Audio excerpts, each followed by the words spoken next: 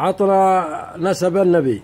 هو محمد بن عبد الله بن عبد المطلب ابن هاشم ابن عبد مناف ابن قصي ابن كلاب ابن مرة ابن كعب ابن لوي ابن غالب ابن فهر ابن مالك ابن النضر ابن خزيمة ابن كنانة ابن خزيمة ابن مدركة ابن الياس ابن مضر ابن نزار ابن معد ابن عبدان.